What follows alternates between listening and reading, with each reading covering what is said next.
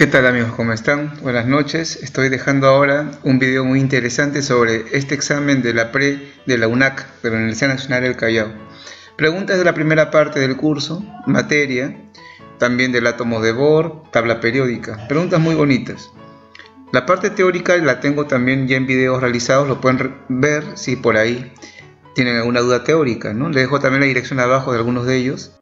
Bien muchachos, así que se cuidan mucho y nos vemos. Vamos a resolver esta pregunta de examen de la pre del Callao, la cual tiene preguntas interesantes como la primera que dice ¿Cuánto mide el radio de la quinta órbita según Bohr en Armstrong? Bien amigos, según el átomo de Bohr, el núcleo está rodeado de órbitas circulares, que son concéntricas en función al, núcleo. Y acá tenemos la órbita 1, la órbita 2, la órbita 3. Y hay una distancia del núcleo hacia dicha órbita, no hay una distancia determinada. Órbita 1, 2, 3, 4, 5. La pregunta quiere que yo averigüe cuál es la distancia, el radio de la quinta órbita. Es decir, esta distancia, ¿no? Desde el núcleo hacia esa órbita, a la órbita 5, nivel 5. Hola amigos, para esto hay una expresión matemática que es la siguiente. El radio de una órbita es igual a la constante a su cero por la órbita al cuadrado. Esta órbita a su cero también se le puede llamar órbita R0. Bien, y lo tenemos de dato que aparece ahí justo en la hoja. Y está en la pantalla. Voy a despejarlo. El radio de la quinta órbita sería entonces R0 es 0,53 angstrom, ya tenemos en angstrom esta unidad, y la órbita es la 5, sería al cuadrado. Y operamos esto muchachos y nos sale. Y la respuesta final sería 13,25 angstrom. Esa es nuestra clave muchachos, la clave sería la C.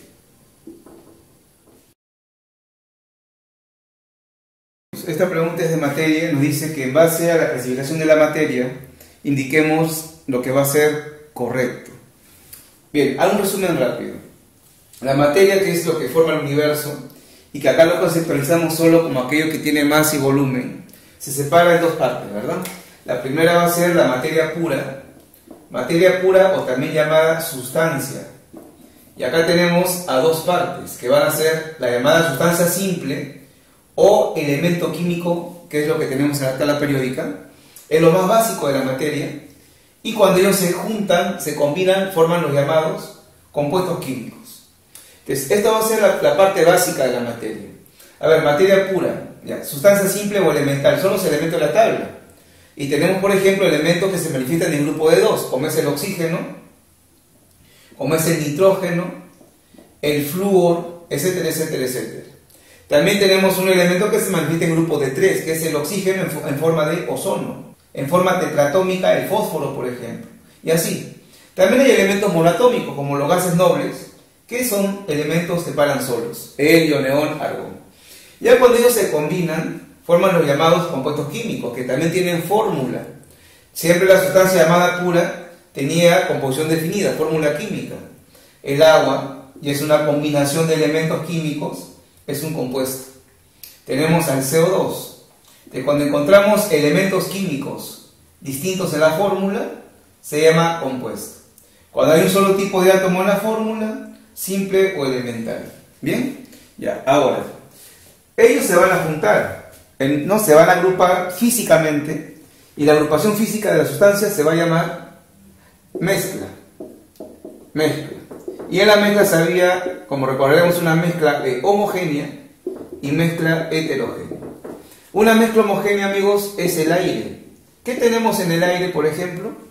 Gases como el oxígeno, nitrógeno, CO2, vapor de agua. Pero ¿por qué se llama homogénea? Porque tiene una sola fase. No se puede diferenciar los componentes de una mezcla homogénea, todo es uniforme, hasta con el microscopio. Tenemos otra mezcla homogénea como por ahí el agua potable, el agua que sale de nuestras casas es agua con sales, es una mezcla de sustancias y no se puede diferenciar. Y había más, ¿no? Una mezcla heterogénea, también agrupamos sustancias, pero esta se puede diferenciar a simple vista con el microscopio. Tenemos, por ejemplo, muchachos, el famoso, la famosa agrupación de agua y aceite. Es una mezcla, pero heterogénea porque se diferencia. Otra mezcla, como dije, requiere un microscopio, como la leche. Ahí tenemos agua y dentro hay componentes que con el microscopio se pueden ver, como la grasa que tiene la leche. Bien, vamos a responder en base a esto lo que preguntaba el enunciado.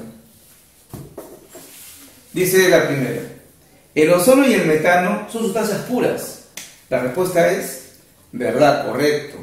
El ozono acá lo tenemos y el metano es un hidrocarburo muy famoso, componente básico del gas natural. Es una combinación de elementos químicos de la tabla y tiene fórmula, es un compuesto. Ambos van a ser sustancia pura, materia pura. La primera, amigos, es verdad. La segunda dice, el metanol y el etanol son mezclas homogéneas. Eso es falso. La dos es incorrecta. Tanto el metanol como el etanol son alcoholes y tienen composición definida, son compuestos. El metanol, por ejemplo, es H3OH y el etanol C2H5OH. Son compuestos químicos. Bien, no son mezclas llamadas homogéneas. Falso. 3. El agua oxigenada y el humo del carro son mezclas heterogéneas. El humo del cigarro, muchachos, sí es una mezcla heterogénea. El humo del cigarro es una masa gaseosa que está llevándose dentro partículas de hollín, de carbono.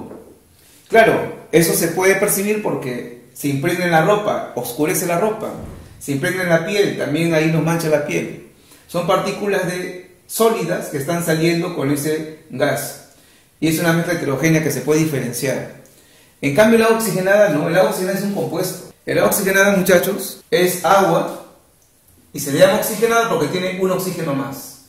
También se le dice peróxido de hidrógeno. Esa tercera alternativa es incorrecta.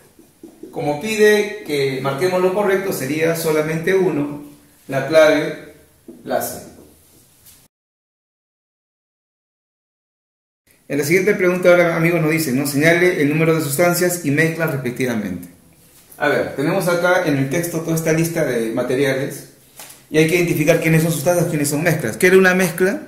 Era la agrupación, reunión de dos o más sustancias en un solo lugar, ¿no? Como por ejemplo el aire, de agrupación de oxígeno, vapor de agua, nitrógeno, CO2 y más gases. En cambio, una sustancia era un solo cuerpo material, ¿no? No estaba agrupado con nadie diferente. A ver, cuando hablamos de sustancias nos referimos a los elementos de la tabla y a compuestos químicos que tienen fórmula definida, ¿no? Por ejemplo, la mina de oro él sería un elemento de la tabla periódica, esto se define como sustancia química. ¿Quién es el agua oxigenada, muchachos? El oxigenada es un compuesto químico denominado peróxido de hidrógeno. Es una sola sustancia también, se denomina de esa manera. Todo lo que tenga una fórmula química, tiene composición definida, es una sustancia son los elementos químicos y los compuestos. El agua dura, ya no, el agua dura es una mezcla. Es una mezcla de agua y de sales. Ese es el agua precisamente de los ríos. Las sales principales son de magnesio y de calcio. Pero el agua dura, muchachos, es una mezcla. Bien, la limonada, nadie duda que la limonada que preparamos en casa es una mezcla. Medalla de plata, está hablando de un elemento de la tabla periódica, un elemento de la tabla, eso se refiere a una sustancia. El pisco sour, también creo que entendemos que es una mezcla de componentes, ¿no? Tiene alcohol, tiene agua, tiene limón, etcétera, etcétera. Es una bebida peruana llamada mezcla. El vinagre, el vinagre también muchachos es una mezcla. Contiene ácido acético que está disuelto en agua. Se usa para cocinar y también para la industria para ablandar pieles. El alambre de cobre, de nuevo un elemento de la tabla. El cobre Cu es una sustancia química. Y finalmente el ozono, que todos lo conocemos en la estratosfera, nos ayuda a cuidarnos de los rayos ultravioleta, es una sustancia química también. Es el elemento oxígeno en forma triatómica. Bueno, nos preguntaba cuántas van a ser sustancias y mezclas. Sustancia 1, 2, 3, 4 y 5. Cinco sustancias y mezcla las restantes que serían 1, 2, 3, 4.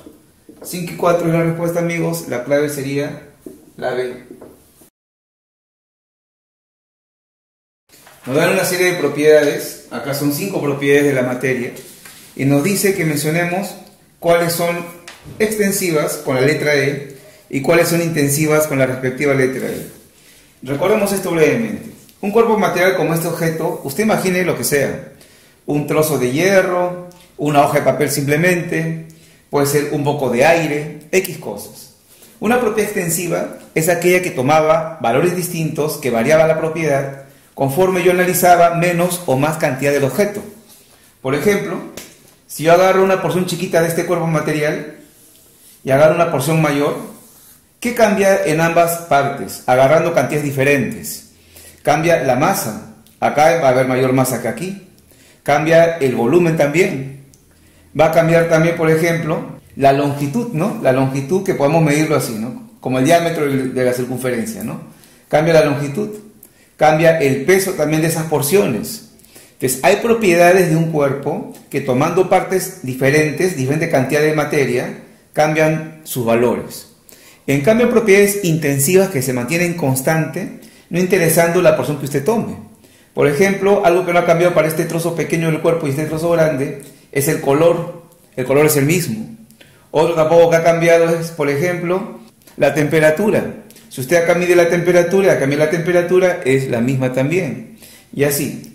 El olor tampoco ha cambiado. Hay propiedades que van a ser constantes, no interesando la porción que usted tome del cuerpo que está estudiando. A ver, con esto muchachos, ¿qué era la dureza? Es la resistencia a ser rayada. Y la dureza es una propiedad de tipo intensiva. ¿no? Esta pizarra, por ejemplo, la resistencia a ser rayada, tanto aquí, esta porción grande, como esta porción chiquita, es la misma no cambia.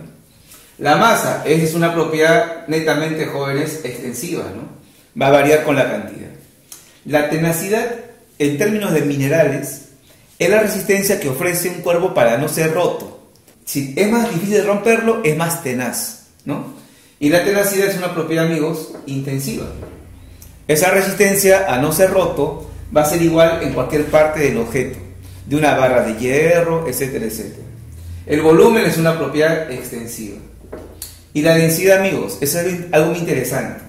La densidad se calcula como una relación que usted recordará, que es masa entre volumen. La masa es una propiedad extensiva. El volumen también es extensiva. Si usted divide dos propiedades extensivas, ¿qué le va a salir? Una propiedad intensiva. La densidad es una propiedad intensiva de la materia, muchachos. Bien, eso se cumple. Por ejemplo, la presión es una relación de fuerza sobre área. La fuerza es extensiva. El área también es extensiva, dependen de la cantidad del cuerpo que esté estudiando. Si dividimos dos propiedades extensivas, se obtiene que la presión es una propiedad intensiva. Bien, muchachos, acá la clave sería entonces intensivo, extensivo, intensivo, extensivo, intensivo. A ver, veamos qué clave es. Y la respuesta, amigos, saldría la D. La número 5 dice, la energía involucrada en la siguiente ecuación química corresponde a... A ver, este es tema de tabla periódica. Veamos lo que está pasando. Este elemento A, que es un gas, está recibiendo energía. Y al recibir energía está ocasionando cambios. ¿Qué le pasó a A? A se volvió un cation monovalente. ¿Qué significa la carga más 1? Que es energía generada que eso pierde un electrón. Entonces miren muchachos, el átomo A estaba neutro, no tenía carga, ese átomo A recibe una cantidad de energía y producto de ello ese átomo libera un electrón. El átomo libera un electrón y además se convierte en esto. ¿Cómo se decía a esa energía que el átomo absorbe para que pierda un electrón? Se le llamaba, muchachos, energía de ionización. Ese dato es energía de ionización. Y la clave sería la D. También se dice potencial de ionización. Listo. Pasando a la pregunta número 6. Entre las siguientes sustancias, señale cuáles son elementales con la letra E y cuáles son compuestos con la letra C. Y ahí tienen la lista. Elementales, amigos, son los elementos de la tabla periódica. Y ya compuestos es cuando tenemos átomos distintos combinados. A ver, cobre, elemental, elemento de la tabla periódica. Glucosa, ese es un compuesto. Fórmula C6H12 o 6 es un carbohidrato. Es el combustible que requiere toda célula para funcionar. Este es compuesto químico. El oxígeno es un elemento. ¿Quién va a dudar que él es un elemento de la tabla periódica? El grafito es el carbón que usted usa en sus lápices para hacer sus preguntas. Este es también elemento en forma de carbono. No se ve que el carbono puede también presentarse, además de grafito, como diamante. Pero en ambos casos es un elemento de la tabla periódica. Cloruro de sodio. Acá ya nos damos cuenta que tenemos a la sal de cocina una combinación de elementos distintos, sodio y cloro, este es un compuesto. El óxido de hierro, acá también amigos es un compuesto químico, ¿no? Puede ser el óxido ferroso o el óxido férrico, otro compuesto. Clave sería elemento, compuesto, elemento, elemento, compuesto, compuesto. Bien, y la respuesta muchachos saldría la D.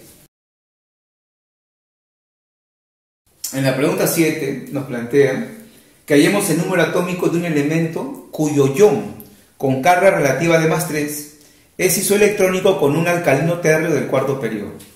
A ver tenemos aquí un elemento y me pide su número atómico. Su número atómico vendría a ser el Z. Ese es el número atómico. ¿Qué información nos dice? Que si tuviéramos de él su respectivo cation trivalente, cation de carga relativa más 3, dice, este sería isoelectrónico con un alcalino térreo del cuarto periodo. A ver, a ver. Dice el problema que este elemento en forma de cation más 3 va a ser isoelectrónico con un alcalino térreo. ¿Quién es alcalino térreo, muchachos? ¿De qué grupo es ese elemento? Muy bien, el, el grupo 2A. Él va a ser isoelectrónico con un elemento del grupo 2A que pertenece al número de periodo igual a 4. Esto sirve para armar la siguiente información. Decir que este elemento ion carga más 3 es isoelectrónico con este otro elemento es porque tiene la misma cantidad de electrones, igual número de electrones. Para este elemento alcalino térreo, que no sé quién es, voy a averiguar sus datos. ¿Cómo? tengo datos para hacer la distribución electrónica. Si el elemento se encuentra en el cuarto periodo, es porque ese elemento tiene como mayor nivel el 4. Su mayor nivel es el 4. No se olvide que el periodo indica el mayor nivel del átomo en su distribución electrónica. Mayor nivel 4. Ese mayor nivel se llama capa de valencia y ahí hay electrones llamados electrones de valencia. ¿Y cuántos son? Lo dice el grupo, el grupo del, del elemento. Si su grupo va a ser 2A, y porque en ese mayor nivel 4 su número de electrones va a ser 2, ¿no? Lo dice este. Y estos datos, muchachos, me sirven para hacer la distribución electrónica. A ver, vamos a hacer la distribución electrónica de ese elemento. Sería 1s2, 2s2, 2p6, 3s2, 3p6, y acá vamos a terminar. Dice que sea de cuarto periodo. Al poner acá 4s, que es el camino que sigue, ya tenemos que es de cuarto periodo, ¿no? Y ahí debe haber entonces ahora dos electrones. Y ya tenemos a ese elemento que nos estaban planteando con esa información. Mi elemento es de cuarto periodo, claro, tiene cuatro niveles. Y en ese mayor nivel tiene dos electrones, grupo 2A. ¿Cuál es el número de electrones que hay acá, muchachos? ¿Pueden sumar, por favor? Muy bien, sale 20. Sale 20 electrones. Y el problema dice que ese ion que me están preguntando su Z tiene la misma cantidad de electrones que él. Él también tiene 20 electrones. Y ahora puedo calcular el número de electrones de este elemento, ¿no? ¿Qué sería? Si fuera neutro sería Z. Pero ¿qué indica más 3? Que ha perdido esa cantidad. Y eso va a ser igual a la cantidad que tiene el otro, porque son isoelectrónicos. Operando Z nos sale 23. Esa es la respuesta.